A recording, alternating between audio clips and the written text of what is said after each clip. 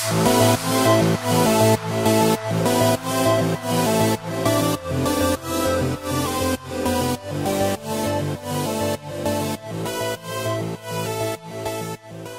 happy, happy coming here and uh, have uh, many message from the, the people from Lebanon for uh, we support the team and I promise we fight together for for make pleasure for the people here.